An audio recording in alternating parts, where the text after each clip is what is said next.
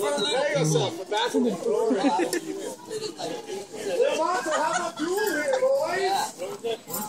Sword fight right here at the Merchant's Bend. Is this where the duel is? See, this is where I'm going to stab a man in the neck for your pleasure.